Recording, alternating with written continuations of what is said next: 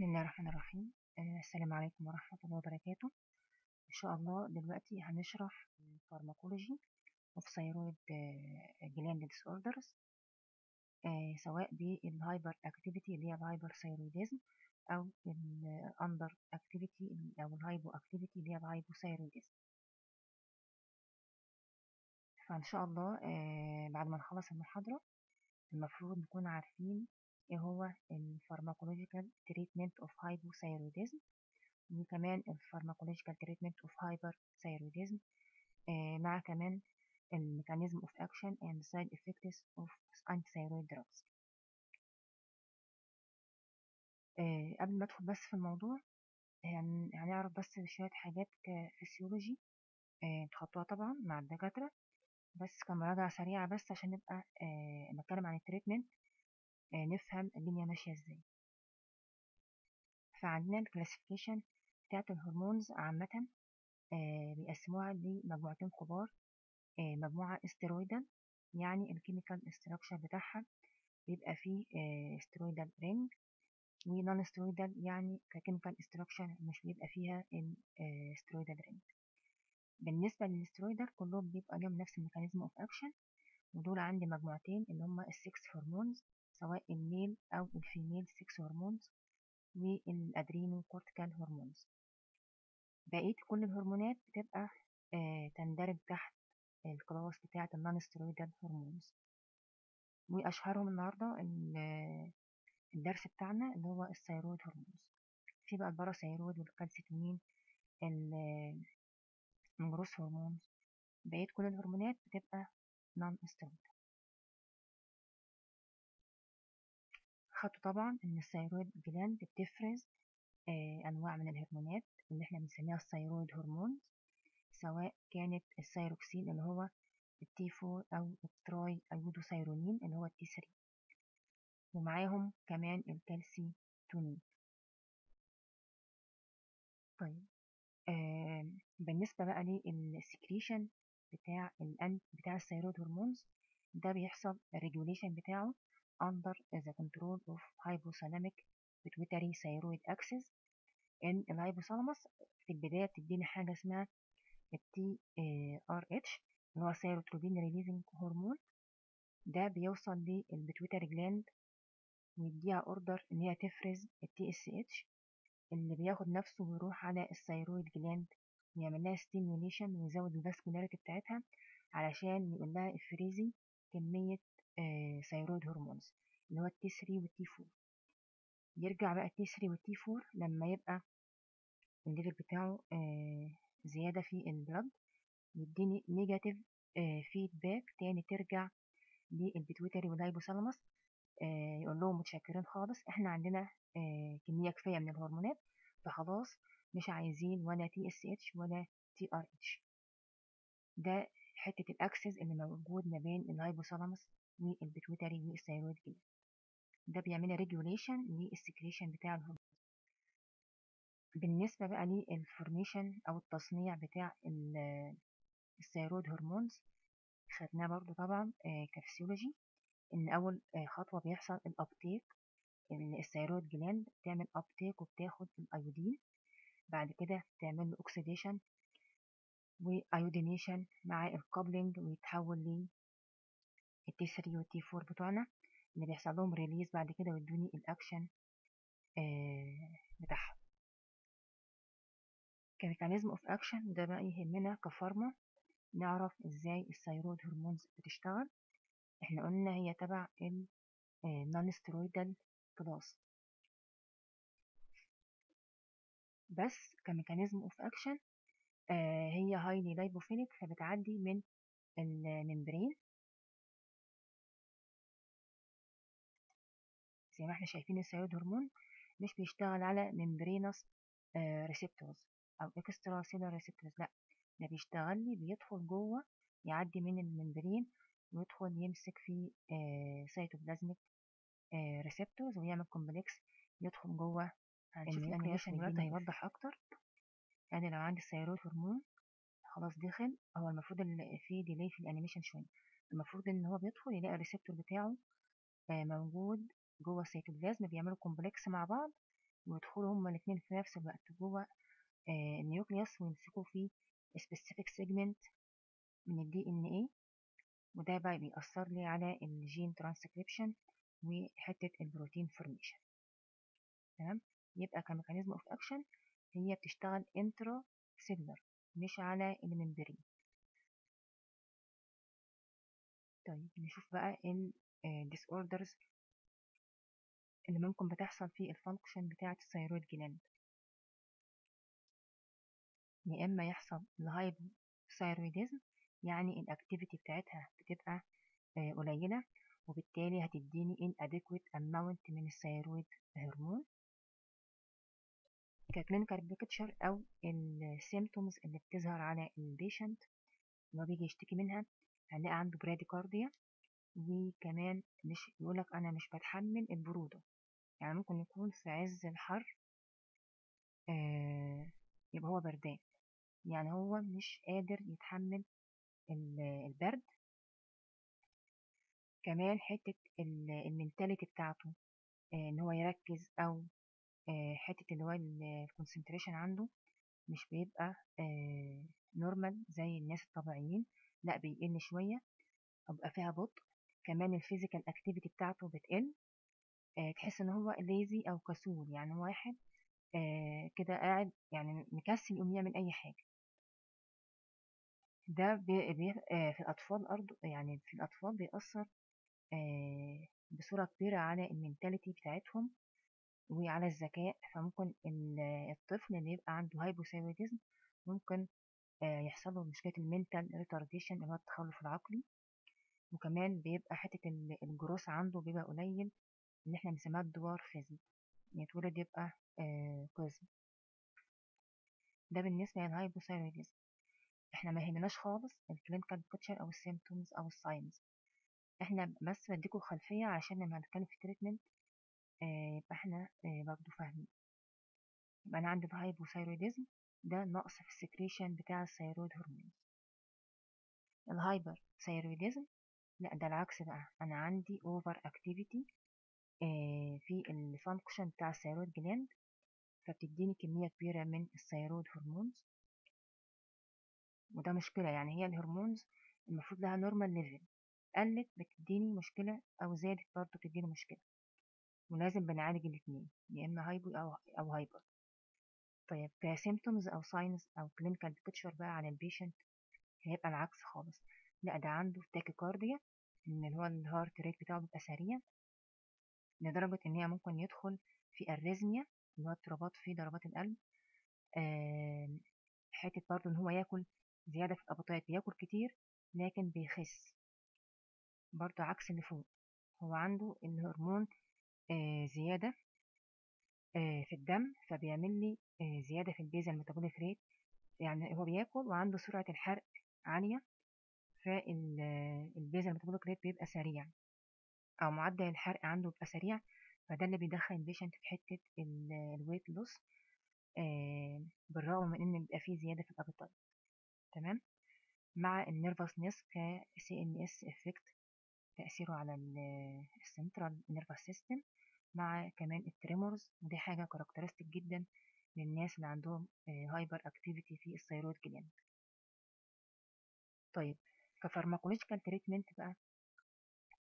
آه الأول نعرف بس السبب أشهر سبب يعمل لي ال hypothyroidism أو يخلي الغدة الدرقية وظيفتها قليلة دي حاجة autoimmune آه autoimmune mechanism بيبقى فيه مشكلة بتؤدي إلى ال damage لل thyroid gland نفسها أو في ال peroxidase enzyme اللي هو الانزيم اللي هو اللي يعتبر هو المتحكم في تصنيع ال thyroid hormones يعني بيبقى هو ال control بتاع كل ال steps بتاعة تصنيع ال thyroid hormones لو حصل فيه destruction أو damage ده برضو بيعمل لي مشكلة ال hypothyroidism لأن خلاص أنا بوقف الخطوات بتاعة التصنيع فبالتالي ال release حتى هيبقى قليل أو ك amount لل thyroid hormones هتبقى قليلة.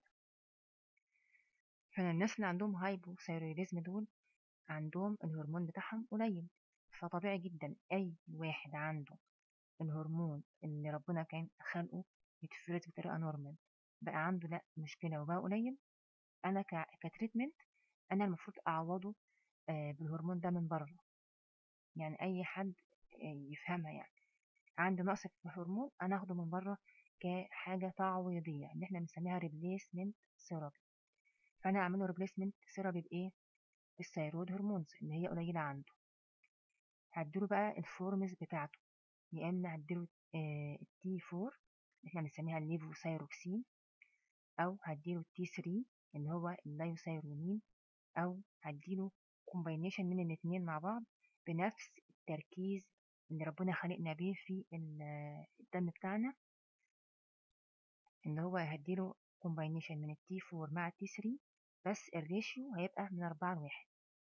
يعني ال T 4 ال T 3 وهنركز إن ال T 4 هو الأربعة وال T 3 واحد عشان الناس ما تتلخبطش برضه في ال MCQ إن الأربعة مع الأربعة جبنا بقى ال ratio معكوس ال T 3 وال T 4 نبدل إحنا برضو دول. يبقى واحد لأربعة مش أربعة لواحد. يبقى الأكتر هو ال T 4 وال T 3 هو النسبة الأقل يبقى عندي المعدل أربعة لواحد تمام؟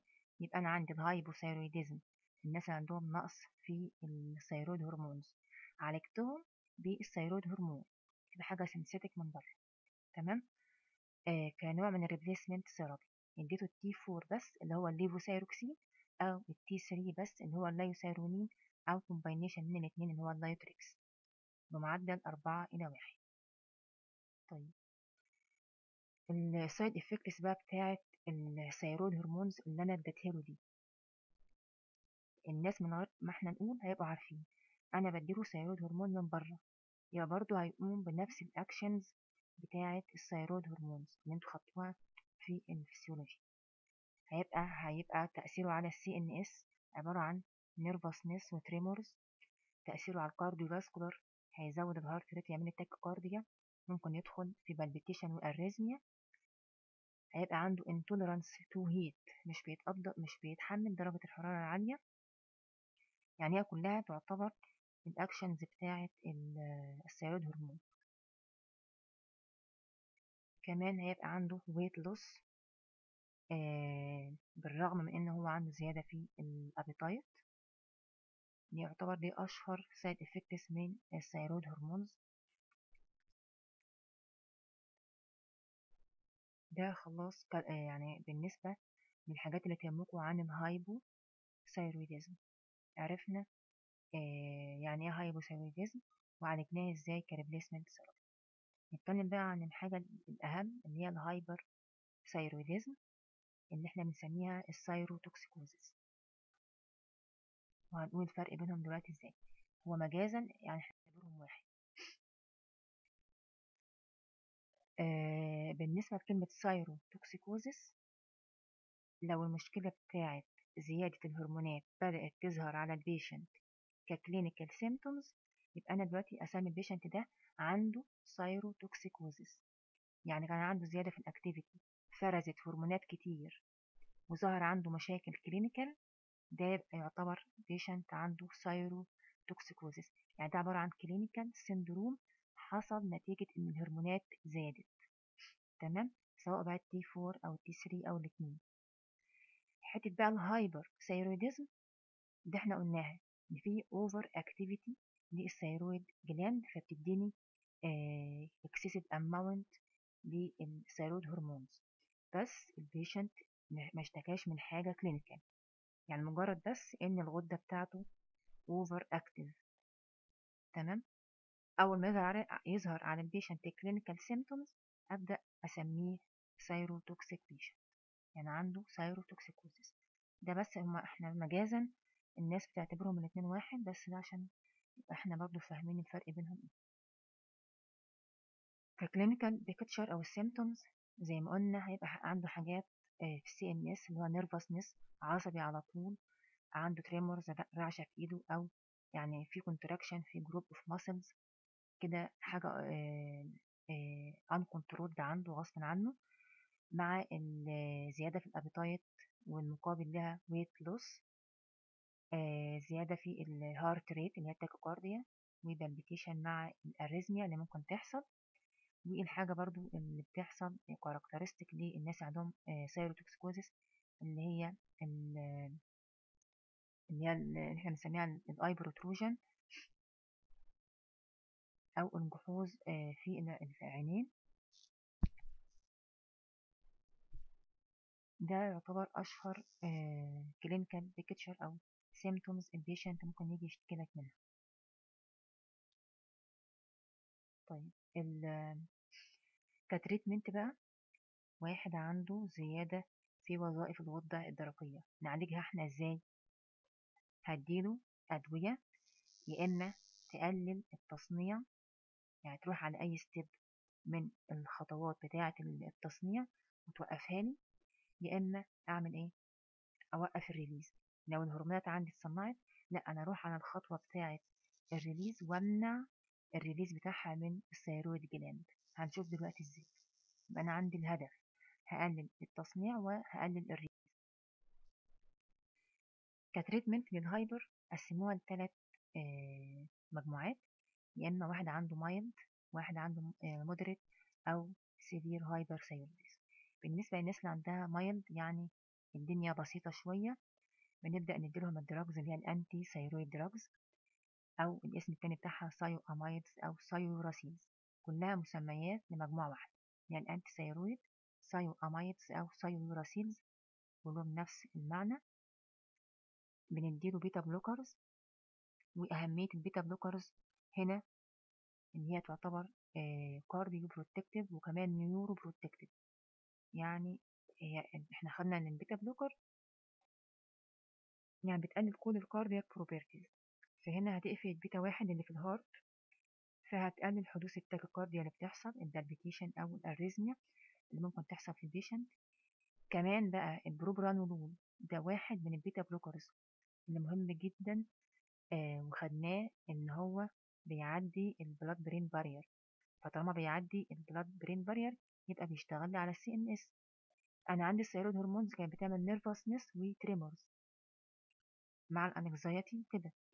فأنا لما أدي البروبرانولول هيعدي لل CNS وهيقلل ال nervousness وال anxiety وال tremors اللي ممكن بتحصل في ال patient ده فيعتبر برضو هو neuroprotective ده بالنسبة لفائدة البروبرانولول في الناس اللي هم ال thyrotoxicosis آه طيب بنديله كمان حاجة اسمها ال anti-anxiety يعني حاجة هو عنده tremors و nervousness متعصب على طول وقلقان فأنا هديله حاجة مهدئة أو آه حاجة تقلل القلق اللي عنده اللي هو ال anxiolytic أو ال anti-anxiety drugs وأشهر حاجة اللي هو الديازيبام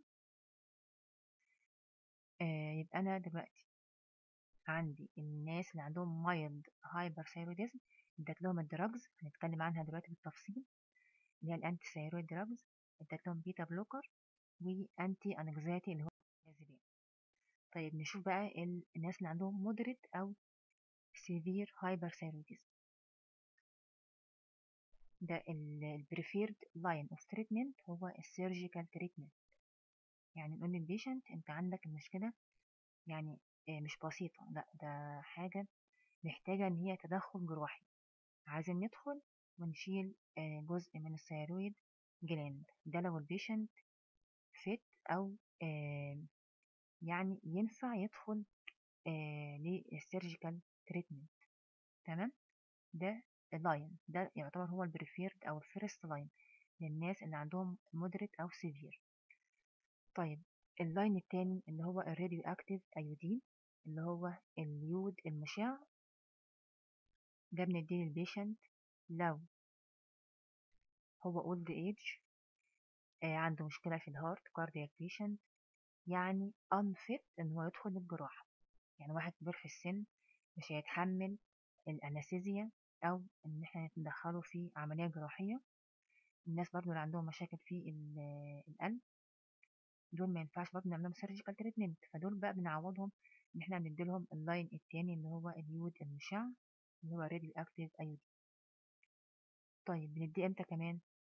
لو حصل failure في ال anti-thyroid ال patient ده أنا اديته الأول anti-thyroid drugs منفعش معاه وحصل فيها failure والمشكلة بتزيد عندي. ده ندخله برضو على ال radioactive iodine أو ال patient ده عملنا له thyroidectomy اللي هي subtotal شلنا جزء من ال thyroid عملنا له جراحة يعني من الآخر وبرضه حصل recurrence تاني فال patient ده بقى مش كل شوية ندخله عمليات نشيل حتة من ال thyroid. ونعمل له مشاكل لا ده بقى نحوله على ال line اللي هو بتاع ال radioactive iodine يبقى أنا ال radioactive iodine استخدمته لو ال patient unfit إن هو يدخل بيه ال surgery سواء cardiac أو old age لو حصل failure في ال antithyroid drugs ك pharmacological treatment ما ينفعش هدخله على ال surgical أو عمل surgery وحصل منها recurrence تاني. تمام؟ نتكلم بقى شوية عن ال antithyroid drugs اللي هي ال thioamides أو ال thiouracils أشهر اتنين عندي في المجموعة دي اللي هو ال propylthiouracil آه وال methimazole ودول بيشتغلوا عن طريق ال inhibition لل thyroid hormone formation يعني بيشتغل بيشتغلوا إن هما بيوقفوا التصنيع بتاع ال hormones. بيعملوا inhibition لل peroxidase enzyme اللي إحنا قلنا إن هو يعتبر ال rate limiting enzyme في عملية الهرمون هنا في الرسمة اللي قدامنا بيبين أماكن الأكشن بتاع كل group من ال drugs اللي بتستخدم في ال hyperthyroidism أنا عندي المجموعة بتاعت ال thioamides أهي شغالة على ال peroxidase enzyme يعني عملت inhibition لل peroxidase إحنا يعتبر دي اللي لونها gray دي عبارة عن thyroid follicle أو اللي هي cell يعني cell من ال follicles بتاعة ال thyroid المفروض عندي ال iodine أهو بيحصل له uptake ويدخل يحصل له oxidation وبعدين يحصل له بقى ال coupling وكل الخطوات عندي أهي. عندنا ال thioamides بيشتغل في منطقة ال peroxidase enzyme يعني أي خطوة فيها ال peroxidase يعتبر ال thioamides بتوقفها لي.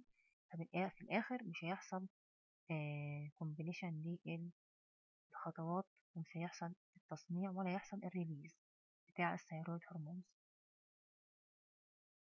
طيب يبقى إحنا قلنا ال mechanism of action بتاع thyroid وال propylthiouracil وال methimazole دول بيعملوا inhibition لل thyroid hormone formation عن طريق inhibition بتاع ال peroxidase enzyme طيب ك side effects أو adverse effect منها ال delayed onset of action يعني ال patient ده أنت هتقول له هتاخد العلاج ده بس تأثيره مش هيبان غير بعد أسبوع أو أسبوعين. الناس هتسأل ليه؟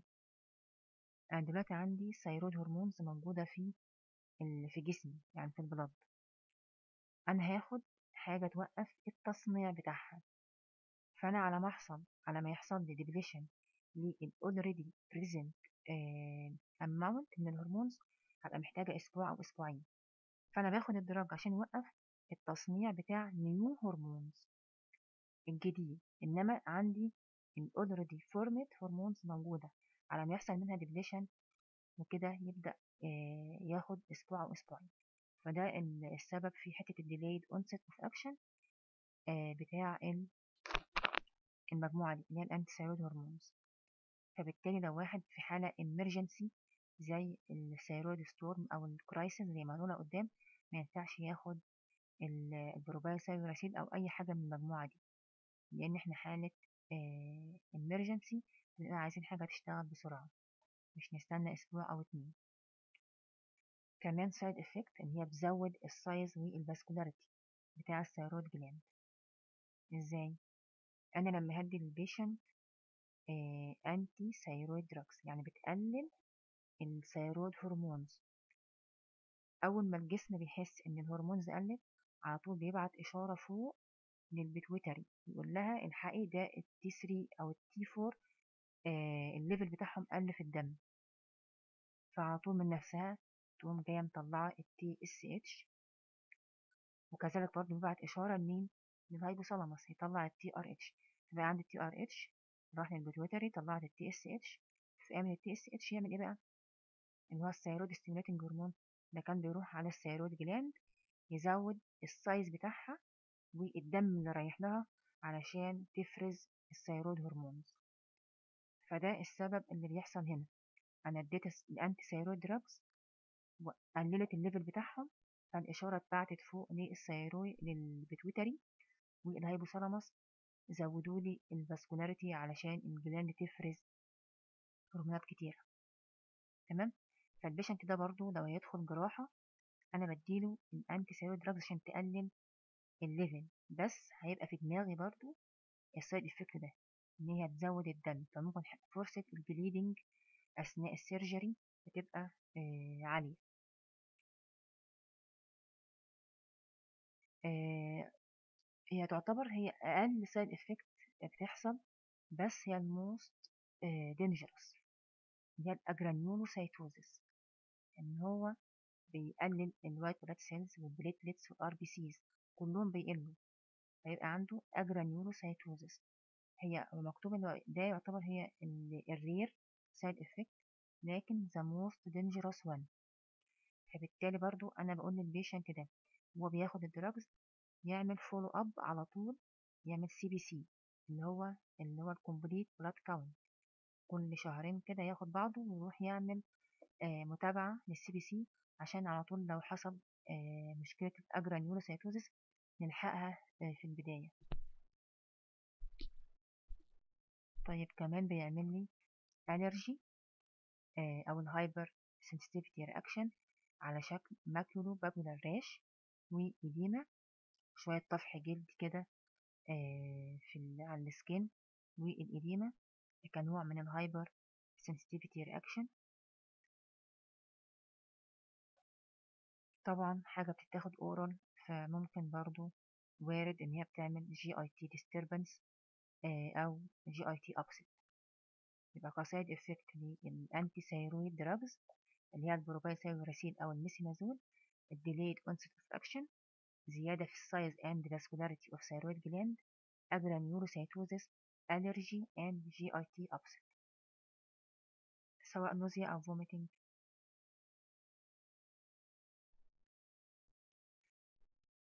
بالنسبة بقى لل line اللي إحنا قلنا عليه بيستخدم في ال moderate أو ال severe اللي هو radioactive iodine اللي هو اليود المشع. بيستخدموا يود اللي هو اليود هو المية واحد وتلاتين. ده أول ما بيتاخد بيتاخد oral طبعا بس بيبقى لازم في مستشفى.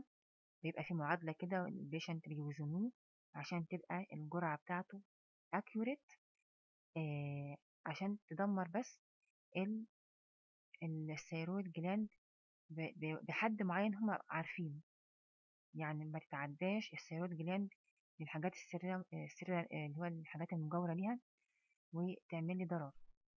لا أنا ببقى مدياها مثلا تعمل لي destruction لجزء معين مش كل ال thyroid طبعا يعني. فبنستخدمه آه هو يعتبر يود طبعا فمين اللي هياخده؟ ال thyroid gland هي اللي هتعمل له trapping وهتاخده وهتشتغل عليه نفس الخطوات آه اللي إحنا قلناها. هيحصل له trapping وهيتاخد جوه. أول ما هتعمل له هيتاخد جوه ال gland بيعمل لي emission أو إشعاع بيطلع بيطلع اللي هي ال beta rays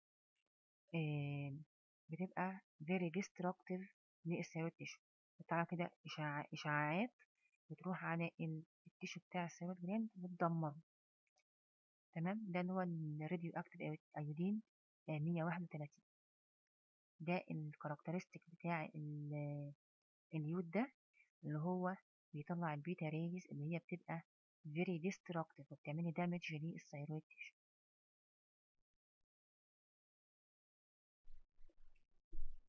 تالت حاجة أو تالت مجموعة من ال drugs اللي بتستخدم برضه في الناس اللي هم ال thyrotoxic أو ال hyperthyroidism ال beta blockers زي ما قلنا وال preferred member في ال group ده هو البروبرانولول طبعا. الوظائف بتاعته إيه بقى؟ زي ما قلنا cardioprotective يعني بيحميني ال heart من ال tachycardia من ال arrhythmia اللي ممكن بتحصل أو كمان ال angina كمان هو neuroprotective. هيحمي ال brain آه، من ال anxiety أو هيقلل مش هيعمل brain لأ بيمنع أو بيقلل ال anxiety أو ال nervousness وال tremors اللي بتحصل في الناس ال hyper علشان هو بيعدي ال blood brain barrier كمان آه، حاجة بقى مميزة جدا للبروبرانولول ويعتبر هو الوحيد في المجموعة بتاعة ال beta blocker اللي ليه الخاصية دي إن هو بيقلل ال conversion بتاع T4 إلى T3 وإحنا عارفين طبعا إن ال T3 بيبقى more active عن ال T4 فأنا لما همنع تحويل ال T4 ل more active T3 برضو هحاول هقلل المشكلة. يبقى تاني البروبرانولول ده cardioprotective neuroprotective وهيقلل ال conversion بتاع ال T4 إلى T3 يبقى برضه في MCQ لما هنسأل آه إيه هو ال member من ال beta blockers اللي بيبقى preferred في الناس ال thyroid آه اللي عندهم thyroid disorder اللي هو ال hyper يعتبر البروبرانول هو ده ال آه يعتبر أأمن واحد وده الوحيد يعني مش عايزة أقول الوحيد وده يعني يعتبر أفضل آه واحد في ال group ويستخدم في الناس دي. ال surgical line بقى اللي إحنا اتكلمنا عنه العملية الجراحية. المفروض ال patient هيدخل يا إما هيعمل على حسب الحالة بتاعته هيعمل آه استئصال للغدة الدرقية سواء subtotal هنشيل جزء بس أو total thyroidectomy تمام؟ يعني إحنا شلنا جزء أو شلنا ال thyroid gland كلها لو الحالة آه محتاجة إن إحنا نشيل كل ال thyroid gland إحنا اتكلمنا آه عن عن كل واحد قلنا النقط المهمة فيه سواء antithyroid drugs beta blocker أو ال radioactive iodine أو ال surgical treatment وقلنا ال radioactive iodine بيستخدم إمتى؟ لو ال patient unfit لل surgery أو ال antithyroid drugs حصل منها failure أو حصل recurrence بعد ال operation تمام؟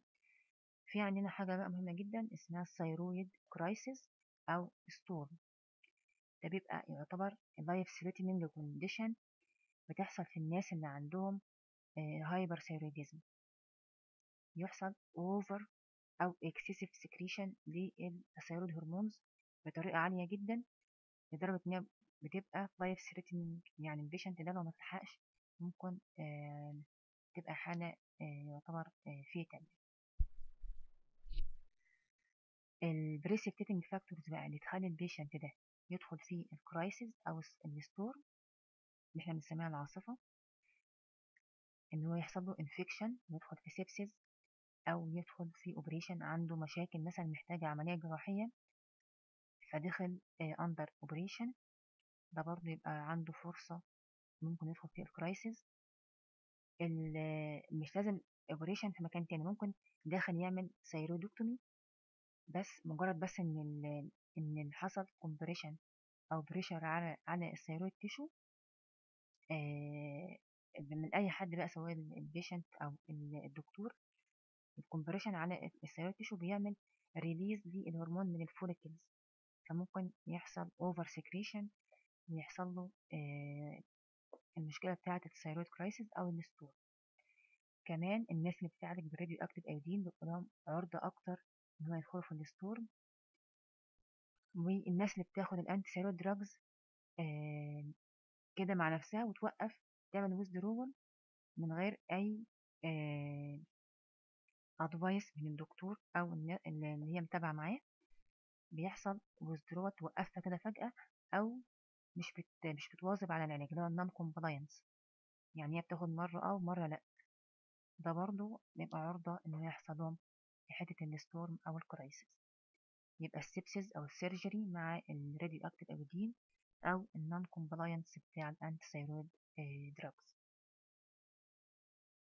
اعالجها أنا إزاي بقى؟ لو ال patient ده دخل مني في ال crisis نبدأ نديله ال beta blocker ليه؟ ما هو ال thyroid hormones اللي خرجت دي هتروح تشتغل على ال heart وعلى ال CNS دول أكتر أماكن. فأنا عشان احمي الاتنين دول أدي ال beta blocker زي ما قلنا. آه ك cardioprotective و neuroprotective. نفرض ال patient ده عنده مشكلة في ال respiratory system وعنده مثلا bronchial asthma ما يعرفش ياخد beta blocker. لا ممكن نديله ال calcium channel blocker. تمام؟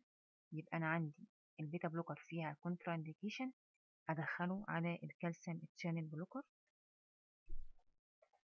آه كمان ال line التاني اللي هو ال iodides بنديله ال iodide ده عشان ي inhibit ال release بتاع ال hormones. أنا لما هدي ال ال سواء بقى ال potassium iodide أو ال sodium iodide ده بيدخل يروح على ال thyroid gland ويوقف ال release عكس ال antithyroid ال antithyroid drugs كانت بتقلل التصنيع. يعني أصلا الهرمونات مش بتتصنع. لا هنا ال iodides بقى بتوقف ال release يعني لو في hormones جوه ال follicles لأ مش هتخرج ولا يحصل لها secretion ده البوتاسيوم أو iodides أو ال sodium iodide ده بقى قال لك بيتاخد قبل الجراحة لو ال patient ده هيدخل العمليات يشيل حتة من ال thyroid. ده ممكن بيديه ال iodide علشان برضو حتة ال vascularity بتاع ال gland لو كان ماشي على antithyroid drugs قلنا هي مشكلتها إن هي بتزود ال vascularity فأنا مش عايزة يحصل bleeding لل patient أثناء ال operation فنديله ال iodides برضو علشان تقلل حتة ال vascularity أو تقلل آه يعني هو بيشتغل بيوقف الاكشن بتاع ال TSH على ال thyroid gland يعني ال TSH كان بيروح يزود ال vascularity لا هو آه يعني يعتبر بيعمل the reverse بيعكس الاكشن أو بي بي inhibit ال effect بتاع ال TSH على ال thyroid gland فبيقلل ال vascularity بتاع ال hormones. يبقى هو قلل ال vascularity فيقلل ال bleeding وكمان قلل ال release بتاع ال hormones. ده بالنسبة لل iodides ال line التالت اللي هو ال propylthiouracil ده إحنا خدناه اللي هو ال antithyroid drug ده كان بيوقف ال formation أو ال synthesis بتاع ال thyroid hormones واتكلمنا عنه قبل كده. كمان حاجة بنعالج بيها اللي هو ال glucocorticoids. يعني بيدور الكورتيزول ده آه لما هتاخد الكورتيزول في ال endocrine هنعرف ان هو anti shock effect آه وبيزود ال cardiac output فعشان كده إحنا بنستخدمه آه في الناس اللي عندهم thyroid storm كنوع من ال anti stress أو ال anti shock effect من ال glucocorticoids تمام؟ يبقى تاني هنقول ال lines of treatment سريعا بتاعة ال thyroid storm عندنا ال beta blocker اللي هو البروبرانولول لو في منه contraindication بندي ال calcium channel blockers آه بندي ال iodides عشان نقلل ال release بندي ال propylthiouracil أو ال methimazole ده علشان يقلل ال formation بتاع الهرمونات. وبندي ال glucocorticoids علشان تمنع حدوث ال shock يبقى عندي دول أهم lines لل treatment بتاع ال thyroid crisis أو ال thyroid storm كده إحنا خلصنا كلامنا ك pharmacological treatment لل hypo وال hyperthyroidism واتكلمنا عن النقط المهمة. في كل line of treatment للحالات دي. للحالات دي. بالتوفيق إن شاء الله للجميع. ولو أي سؤال يبقى على على ال group إن شاء الله على الواتس. والسلام عليكم ورحمة الله وبركاته.